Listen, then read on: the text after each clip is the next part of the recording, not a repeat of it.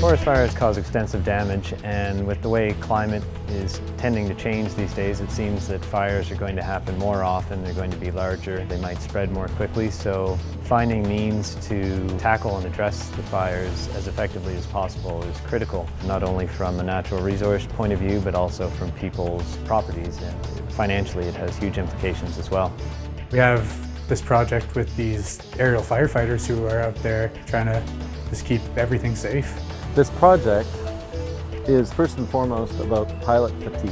The kinds of pilots that we're thinking about are pilots who are flying air tankers to help suppress wildfires in Alberta, BC and in the United States and other parts of Canada as well. Conair approached some of the STAR representatives who use their knowledge of the various types of research going on on our campus here and so they were able to contact researchers from my faculties as well as people in engineering and statistics to bring in people with a wide variety of expertise to most effectively address this problem from a number of issues because it's multifactorial.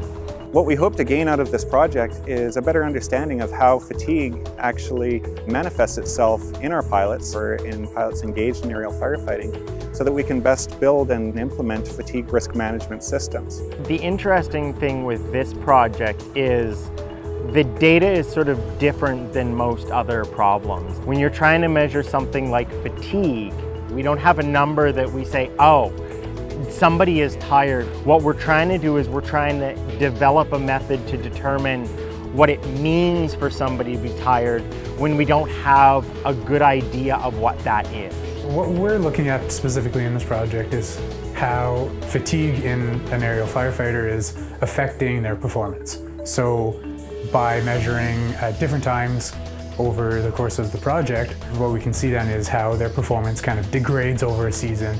The way we do that is using all these tools that we have to see the muscular component kind of of fatigue. How this kind of differs from a kind of a traditional kind of notion of fatigue is what we're looking at is how the brain is controlling the muscle.